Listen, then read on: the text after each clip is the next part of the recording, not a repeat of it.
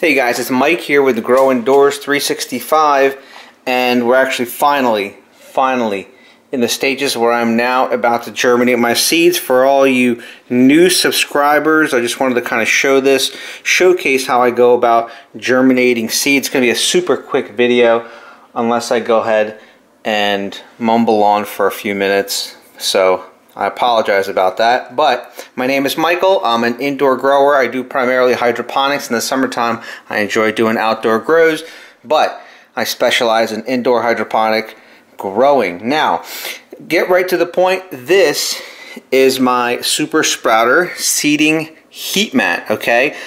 Uh, seeds germinate much faster and better when they're being heated, just like the Earth's ground just like the just like the ground outside when it's heated up the actual seed just like a child inside a womb when it's nice and warm sprouts gets you know it grows it develops. Now pretty simple. Heating mat heats up these little trays. Here are my seeds. I get majority of my seeds from uh, high mowing which uh, they have a lot of uh, large organic selection of seeds. And right now I'm going to be planting these green towers beautiful piece, beautiful lettuce. I've grown them already before. Uh, some of this magenta lettuce. It's like I think it's like the magenta lettuce I bought last year. So hopefully these seeds are still good. Hopefully. Um, but it's like this beautiful kind of buttery lettuce that's kind of with a with a red look to it. Absolutely phenomenal, and the taste is really nice too. But my favorite is these um, is the green towers. And I'm going to be doing some Genovese basil. I'm a huge basil fanatic. You could do a ton of stuff the, with basil, especially in the winter times. Uh, I enjoy, you know, my wife will, not me, uh, some pesto with, I mean, and if you've never grown basil, it literally grows like a weed. And in, what I'm referencing is it will just keep growing and growing and growing. I literally have to keep chopping it, chopping it down, and throwing it out because there's an overwhelming amount of basil.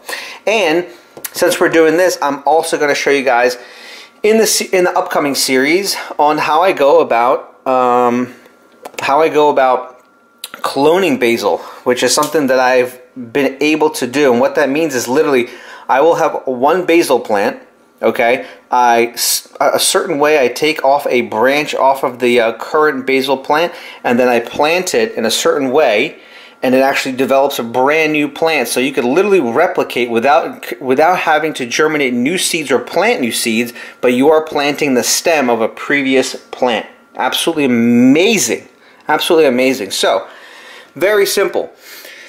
These little uh, these little trays right here, these little these are glass. They have a little bit of nice filtered water in there, and all I do is literally this.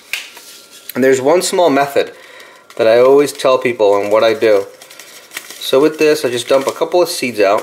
And I mean, honestly, there's so many seeds that come in this thing that feel free to just kind of go nuts. And also, not every single seed will germinate. So we probably have like 20 seeds, maybe like 30 now. And also, all my top tiers only handle uh, a total of 27 plants. So uh, I end up throwing a lot of seed out. But listen, this is uh, this is a hobby. You know, I take this as a hobby. This isn't like I'm using this to survive, though individuals that might not have immediate supply to food and they feel that they could sustain, which is very hard, sustain a hydroponic grow in a certain survival situation due to the fact that you need electricity for light as well as a source of water to maintain in your reservoirs, you know, feel free to do that. This, you know, potentially with a small investment of just seeds and a small setup, you're able to actually grow clean food, no pesticide. You are of course of course using a fertilizer to feed the plants, though I have managed to maybe even a little bit of fertilizer added to just to just kind of get the grow process moving and then I haven't used uh, any you know food for the plant though you will notice that there's a decrease a significant decrease in the rapid growth in addition to that, you might not get as big of a yield. So, but that's all, so we could talk about that as we go through this process, but here it is. So basically, you'll notice that these seeds are actually floating, okay? One of my key ingredients that I tell people to do is this, and this is what I learned from somebody. You tap these seeds, okay? You just keep tapping these seeds, just like that. until majority of them, if not all of them, fall to the bottom. Now, a lot of times a seed, if it does not want to fall to the bottom, that literally will mean there might not be anything inside.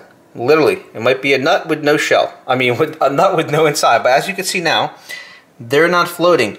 They're literally at the bottom. And I will do that the same for both of these too. Sometimes I take one tray and I mix a variety of lettuce inside because it doesn't matter to me. I'm going to be planting all of them, so it doesn't matter. It's kind of more like a, a nice look. You kind of want to you kind of want to indicate, okay, the green towers are going upstairs into reservoir A, whatever it is. But me, I can just put them across anything. It doesn't even matter. So that's it. And uh, basically, the next step is got some of these little wet containers. You want to cover these so that light does not hit the inside of this area during the germination process. You could, of course, lift it up. You could look at it.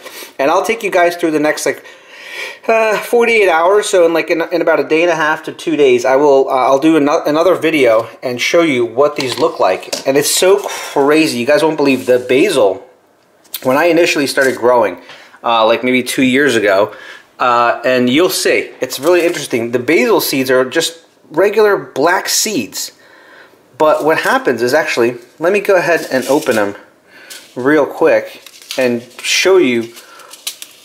I'm not sure if actually it's an immediate effect or not because uh, it's a very interesting effect. Sorry about the moving camera. Let me actually put it down for one second. And we're going to see what happens because the basil seeds, don't give me a thumbs down for this. I love you guys. All right, check this out.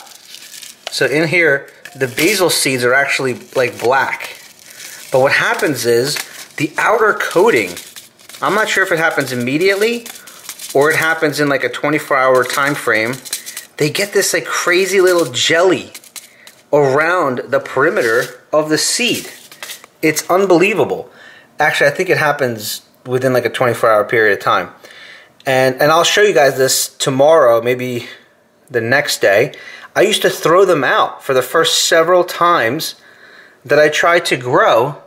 You can actually almost see they it's like they take on water. It's really interesting. But the but the jelly like like the jelly like substance around them is unexplanatory to me. Um, if you know anything about it, leave me a comment down below. Also, make sure to leave me a thumbs up and hit that bell, guys, for anybody that's interested in receiving updates every single time I post a video.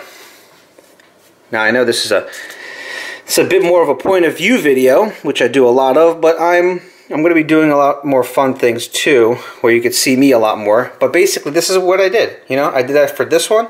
I did that for this one. Okay, we drop the seeds, we let them sink to the bottom, and I'll do the same thing for this uh, for the magenta lettuce. And now we have multi towers waiting to go. Now, as I mentioned, you want to cover them from light. I got these little, uh, from a Chinese restaurant, after you're done eating, a lot of times you get these, you know, decent little plastic things. Boom, covered. Okay? Covered. Now I'm just going to do one more. The heat mat gets nice and warm, starts to heat up those seeds, get everything moving, and that's it. A couple of days, you'll see a whole little tail growing from the seeds, and that's the seed germinating and then I'm going to run you through the process on how to put them into the growing medium and how to go step by step in the growing process. And that's it. It's easy as that. You guys saw the new setup downstairs. You guys saw it. Let's take a look at outside. Man, it's scary out there. It's winter time, and this is exactly when, look at that, all the leaves are gone, but the sky is beautiful today. That's what I love. And this is exactly the time that I start really enjoying growing inside. I don't know what about I don't know what it is about it, but at this time around November, December, January, February, March, I grow hard. Everything that I have here, guys, is listed down below. Just hit show more and you'll see the entire list of all the products that I use to maintain my grow, just not the apples. So you, you could find the, uh, the, the sprouter mat, you could find the lights, the pump, everything that you need to get started is listed down below. Now I want to thank you so much for watching this video. Stay with me There's some amazing archived videos, 100 plus videos that are listed in the playlist down below as well. Make sure to check those out to continue learning on how to grow indoors. Um, this is Mike from Grow Indoors 365. I'm signing off. I will see you guys literally in the next one to two days for the next update on what's going on with these seeds. Thanks for watching, guys.